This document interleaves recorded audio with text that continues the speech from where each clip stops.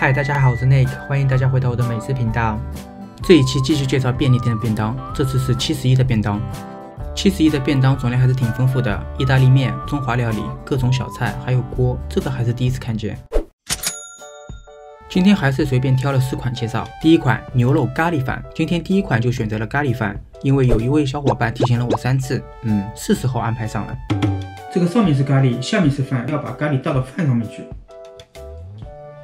我刚刚发觉，它这一款咖喱饭里面只有牛肉，其他的都没有。牛肉的话就是五到六块吧。这上面还贴着牛肉增量，我靠，那就是说以前还要少。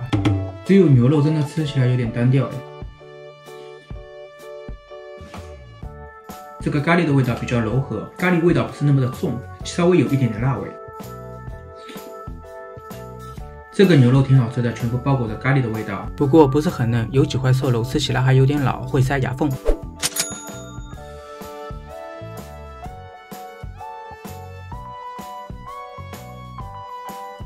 其实本来这个鸡肉锅我是打算晚上吃的，由于我刚刚一顿根本就没有吃饱，所以这顿就是加餐了。这个锅是 Seven Eleven 的新产品，包装上还贴有新发卖的标签，而且这个锅蛋白质很高，碳水化合物很低，个人觉得能当减肥餐吃。这个锅里除了鸡肉就是大白菜、蘑菇、胡萝卜、豆腐。先喝口汤尝尝味道，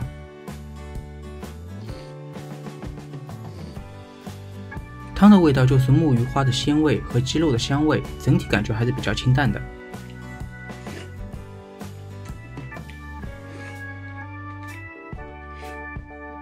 这里面每一块鸡肉都很大，而且很嫩，用的大概是鸡腿肉，因为鸡胸肉的话口感没有那么细腻滑嫩。一大口大白菜吃起来很过瘾，蟹味菇、胡萝卜还有豆腐，感觉吃起来挺健康的。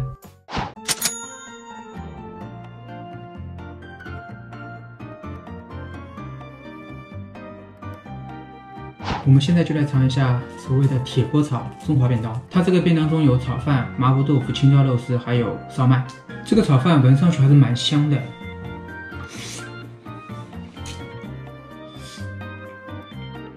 蛋炒饭没有什么味道，就是一些炒蛋的蛋香味。米饭有点干，吃上去有点油。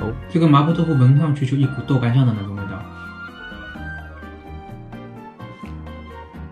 说真的，这个麻婆豆腐味道还是挺不错的，它不是怎么很辣，反而会有点甜。一口下去，刚开始是豆瓣酱的咸味，之后是微微的甜味，最后能吃出一点点的辣味，但是没有山椒的味道。单吃的话总觉得会有点咸，配着蛋炒饭试试看。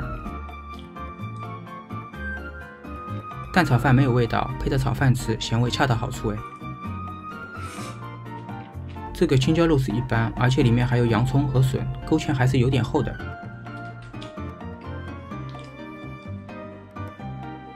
这个烧麦等于是在吃一块肉，有微微的胡椒粉和生姜的味道。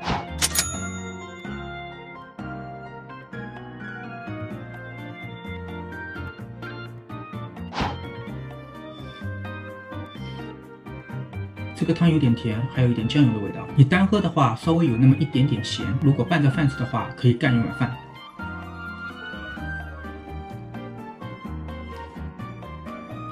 加上了白萝卜，味道就清淡了很多。白萝卜吃起来也非常的爽口。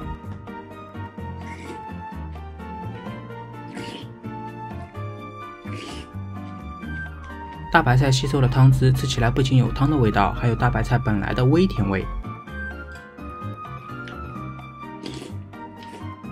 鸡肉没有刚刚那个鸡肉大，味道是酱油味的，一样很嫩。总结一下，四款便当还是喜欢味道比较清淡的鸡肉锅，其他两个一般。